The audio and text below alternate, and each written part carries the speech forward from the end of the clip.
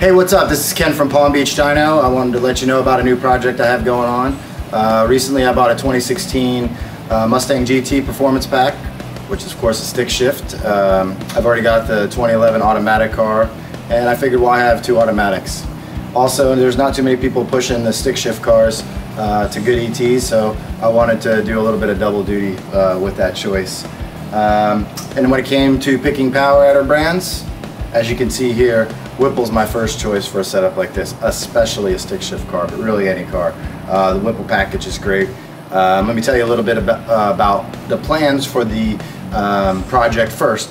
The idea here is the majority of shop cars out there get the car, put crazy amounts of money into it, you get the final version of the car, it goes and runs a 9 or whatever it runs, and that's great.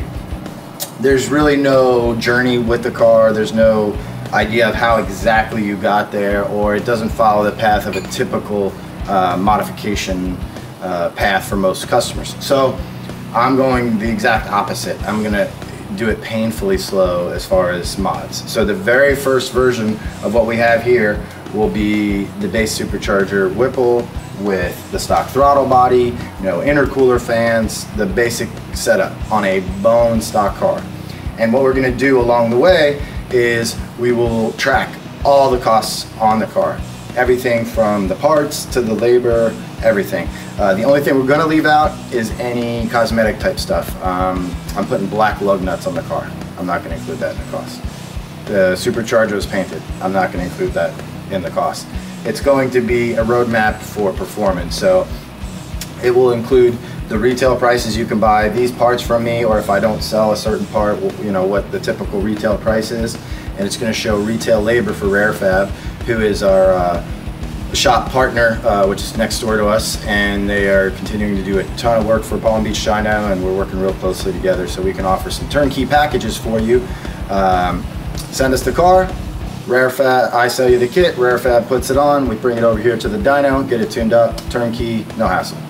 Okay, so now we're gonna go over the kit and exactly what comes with it and the different options available. Uh, as you see here, this is the 2.9 liter front feed Whipple. Um, I've always loved Whipple superchargers, but this particular blower being the front feed setup on the Mustang uh, really has gotten my attention since it came out. Uh, I really like it a lot. Um, as you can see here, since the inlet is on the front, you have a direct shot right into the supercharger rotors. That's huge. Um, now, this comes to the first option, the major option for most people. Um, as you can see here, this is not going to fit a stock throttle body. This is designed for Whipple's throttle body, and uh, ultimately, a lot of people, or most people, might end up with this setup. But as a way to save a little bit of money, or if you're not after every little bit of horsepower, Whipple makes a bracket here which is how we sell our base kit that puts this on and allows you to uh, bolt on the stock throttle body. Um, even with the base pulley, the base kit, typically we still see uh, 600 rear wheel horsepower to the car in this setup, but as you as you know with this project, we'll see that. We're gonna put this on my car, uh, base setup with our uh, remote tune. Uh, obviously, I'll be tuning it on the dyno, but it will be comparable with uh, you know the timing and the air fuel we run on on the remote tunes. Um, so that's the first major option there uh, for most people. Um, what it does come standard with is a very large heat exchanger, as you can see here. A very nice intercooler tank and intercooler pump. Now, as you can see, I keep saying very nice, very nice, very nice. And that's another big reason that I like Whipple.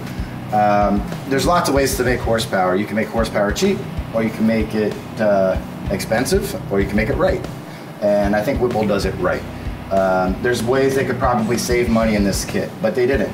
Uh, here's a good example of the hoses. This looks like an OEM hose because it pretty much is, other than it's Whipple's hose. So most of their hoses, I think all of them, everything's plug and play, OEM quality. Um, as you can see here, they're all crimped connections. There's no uh, possible chance of them coming apart. Uh, they even come with their own billet fuel rails, which a lot of people, you know, go and uh, do a, a, separate upgrade for something like this. They come with the Whipple supercharger. Uh, as you can see, everything's very nicely machined. I mean, I don't really have a single complaint about it. You know, their pulleys are nice. There's there's not a cheap part on the car. One other important feature of this kit that I really like, even though I'm not doing the install myself, RareFab will be doing the install, is all of the bags are clearly marked as you can see here. It tells you exactly what's in the bag, the part number, how many there are. Every bag is this way. Every bag has a label on it. It looks like it's initial to check to make sure it was packaged correctly. Uh, obviously there's a lot more bags than this included in the kit. I just wanted to kind of show you this stuff as an example.